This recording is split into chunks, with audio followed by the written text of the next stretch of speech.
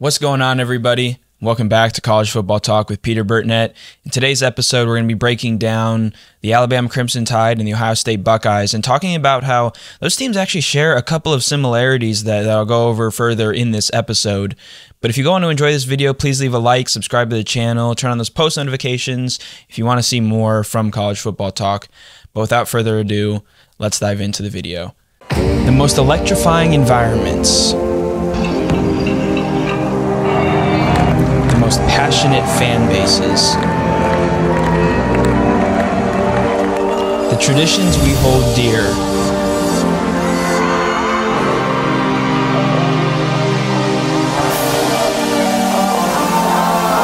The tailgates we wake up early for. The memories we make. The rivals we hate.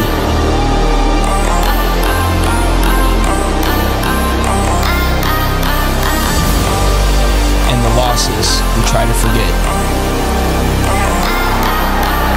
This is college football.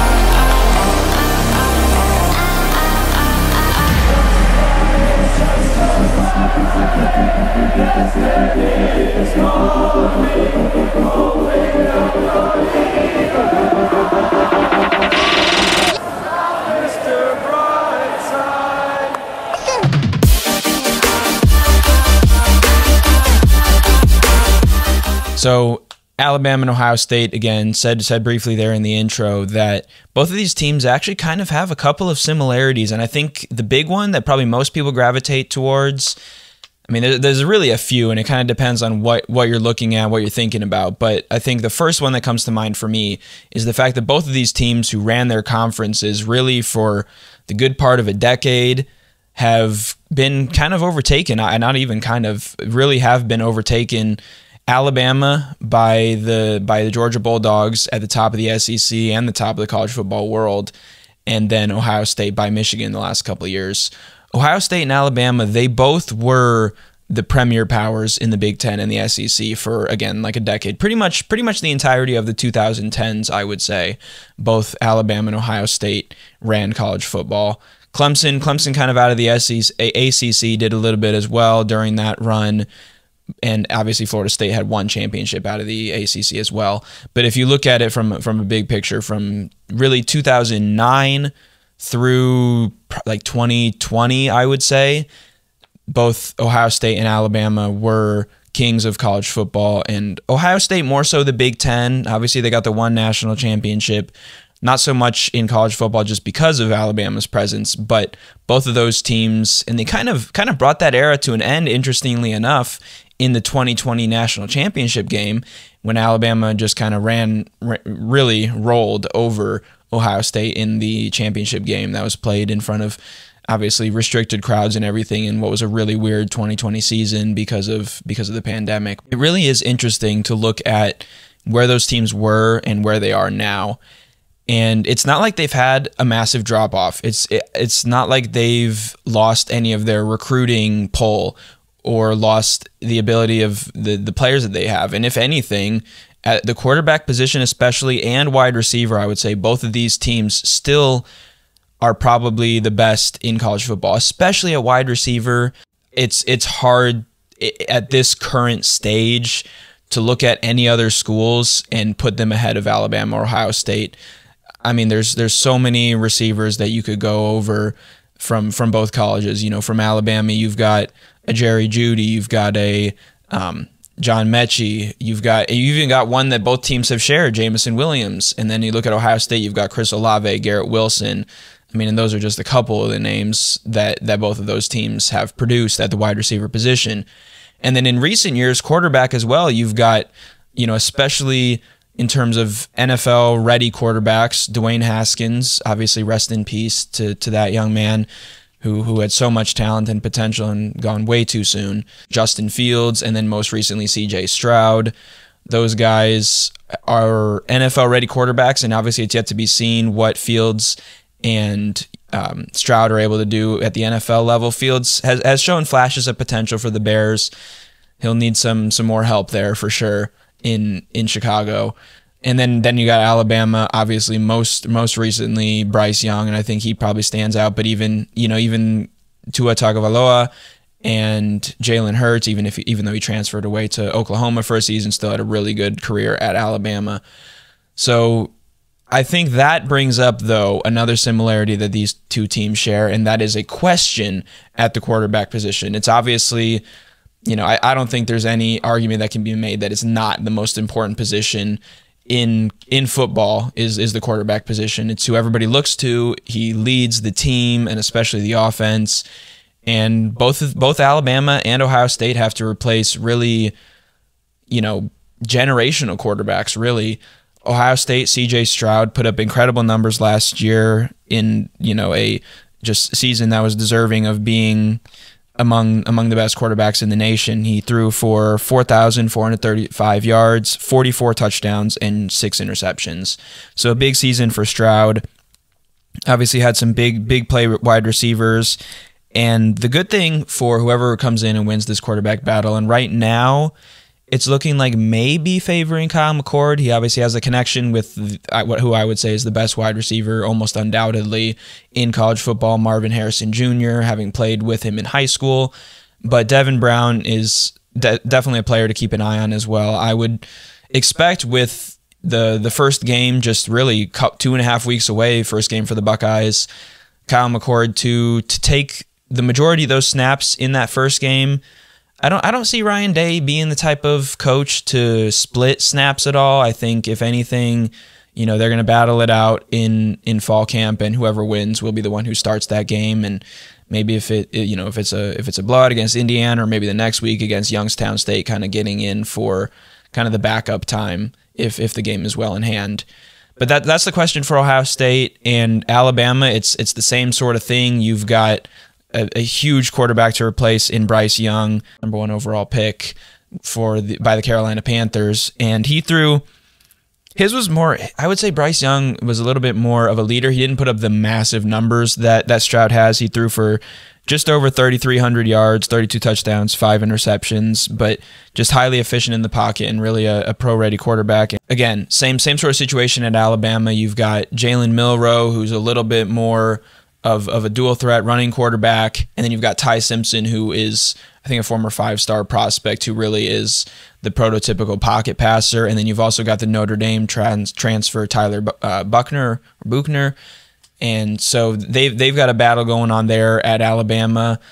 I don't know if theirs is as clear as to who is who is emerging in in the front of theirs, but definitely the Crimson Tide. Again, both of these teams have kind of questions at the quarterback position.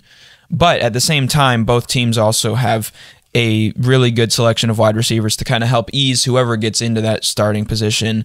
Ja'Corey Brooks, Jermaine Burton at Alabama, and obviously at Ohio State, you've got Marvin Harrison Jr., Julian Fleming, Emeka Egbuka, and even Cade Stover at tight end. But the challenge for these quarterbacks, and it kind of ties in nicely um, is the offensive line and the questions that are there, kind of for both teams. I think, especially, it's been talked about more with Ohio State. The questions at offensive line, having a couple of, I think, you know, top top picks in terms of their position tackles, uh, Paris Johnson and Dawand Jones, and losing, you know, only returning two starters on the offensive line is definitely definitely a challenge.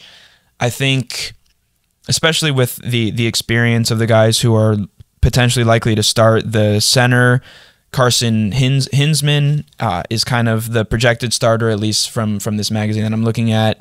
Uh, Tshabola, I hope I'm saying that right, at right tackle. Both of them are, are freshmen.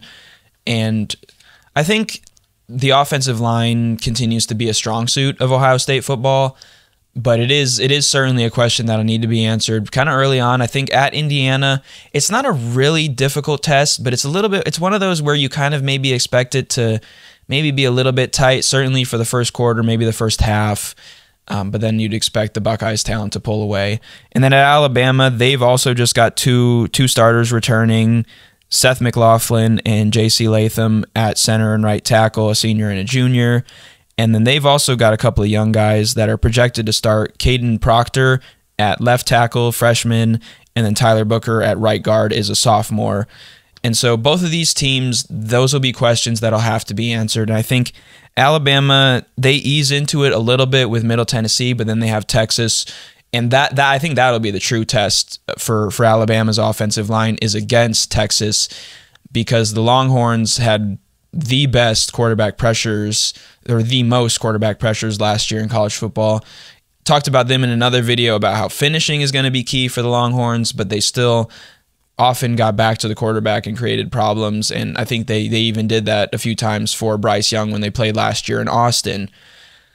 And so whoever whoever starts a quarterback for for both of these teams will have to, you know, get accustomed to maybe a little bit of, you know, maybe having to rush a couple throws here and there as the offensive line starts to get settled in. Both of these teams, though, the players that they bring in are always top caliber players. That doesn't mean, of course, that that every single one is going to deliver to those expectations. But I think both of these teams, the questions of the offensive line will be answered, I believe, fairly early on. And both of these teams offensively will be among the best in the nation once again. And then shifting over to defense, both of these teams, I think defensively have maybe taken a slight step back from the level that they played at when they were again dominating in both teams. You know, aside from aside from against Michigan for for Ohio State and against Georgia for Alabama have really dominated most teams that they face. Of course, Alabama had a couple of close wins last year and the close losses to Tennessee and LSU both on the last play of the game. And defensively kind of struggled in both of those losses. Ohio State obviously when they're going up against Michigan cannot seem to stop the run. So those will be those will be questions to be answered for both of these teams defensively.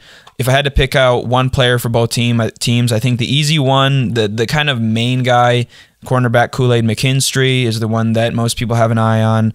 I think outside linebacker, edge rusher Dallas Turner is also a guy who maybe is a little bit more. I wouldn't say under the radar per se, but certainly maybe doesn't get as much attention as he deserves. And I think he is primed for a breakout season. So keep an eye out for Dallas Turner.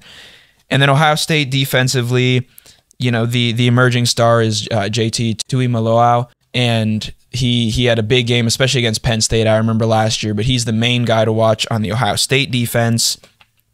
And then I think another guy is linebacker Tommy Eichenberg, kind of paired with Steele Chambers. Both of those guys in in the middle of the Buckeyes defense. Tommy Eichenberg is a true true leader. He's um, I would say kind of a little bit of a classic, you know, silver bullet Ohio State linebacker, kind of bringing back shades of, of a James Laurinaitis. But both both of these teams have have strong defenses. They've maybe taken a slight step back, but they they both have the tools and the the recruits coming in and they both have a solid amount of starters returning. I didn't obviously go over all of all of the all the players for both of these defenses. This season alabama and georgia or alabama and ohio state both face an uphill climb. Georgia and michigan still appear poised to remain at the top of the conferences. Alabama would not face Georgia potentially until an SEC championship game. Obviously, Ohio State will finish the regular season in Ann Arbor against the Wolverines. But let me know your thoughts on whether you think Ohio State and Alabama can overcome the the recent, I guess, defeats to to teams that have almost kind of surpassed them in in wins on the field and in terms of getting to to the college football playoff.